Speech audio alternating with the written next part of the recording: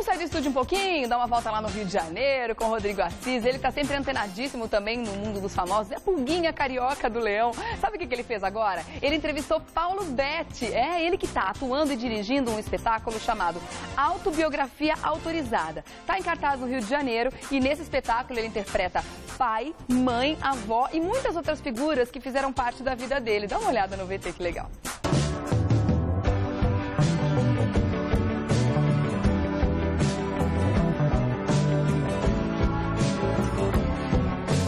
Quando eu cheguei em casa aquele dia, de repente vi que eu estava exatamente onde eu queria mais estar. E meio de improviso, no instante apareceu. Hoje o Revista da Cidade veio bater um papo com o ator Paulo Betti, que está em cartaz aqui no Rio de Janeiro com o espetáculo Autobiografia. E você, que está ligadinho aqui na tela da Gazeta, vai conferir tudo agora com exclusividade. Foi no Salesiano. O padre tirava o lençol, tirava a imagem de Nossa Senhora Auxiliadora e colocava no lugar um lençol que projetava 16 milímetros, vagatura, essa. Regiane Leão, eu estou ao lado de Paulo Betti. Querido, que espetáculo maravilhoso. Que bom que você gostou, fico muito feliz. É, Leão, conheço há muitos anos, já de priscas eras na cidade de São Paulo. Como é que surgiu essa ideia de montar um espetáculo em homenagem aos seus 40 anos de carreira que conta a sua própria história? É. Olha, na, na verdade, eu não tinha pensado nesse, nessa data dos 40 anos. Isso foi a divulgadora do espetáculo que falou: pô, isso é uma data bacana, dá, dá um gancho para divulgação. Então aí é verdade, eu me formei em 75 na escola de arte dramática, então tá dando 40 anos. Olha só como o tempo passa, né?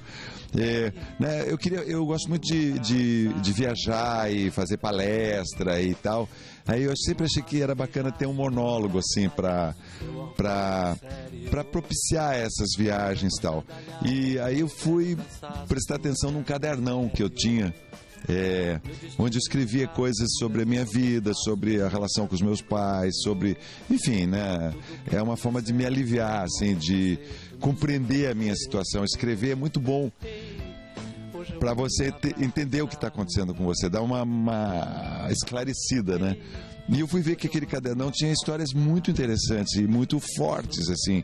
É, que eu sabia todos, porque eu que tinha escrito, mas comecei a mostrar, assim, mostrei para algumas pessoas que acharam que aquilo tinha a ver. Que...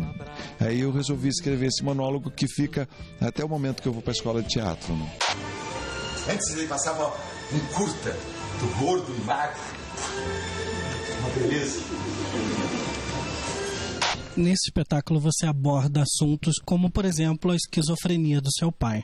É, é difícil você colocar isso para o público, você expor isso, se desnudar diante do público? Coisas que muitos artistas teriam vergonha de dizer. É, talvez. Eu, eu a, a, partir de um momento que eu entendi a minha situação com meu pai, eu comecei.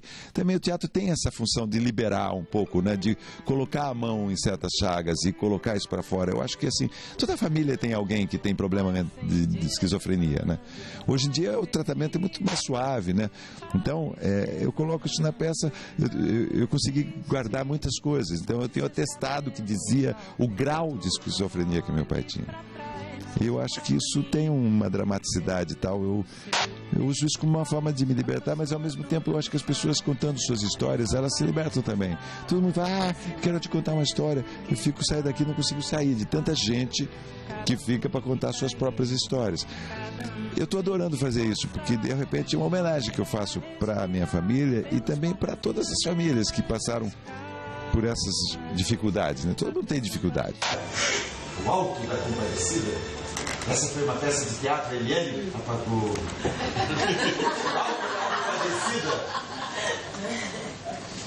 Aqui no Rio de Janeiro você fica em cartaz até quando? Até 10 de maio.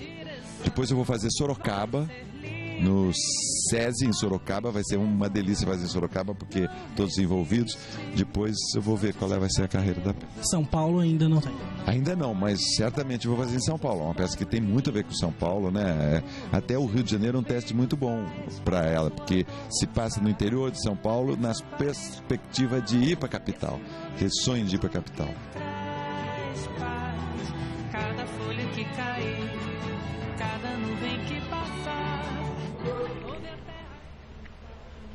Muito obrigada, querido Rodrigo Assis, como sempre, arrasando nas entrevistas. Obrigada também, Paulo Betti, por ceder essa entrevista para o Revista da Cidade.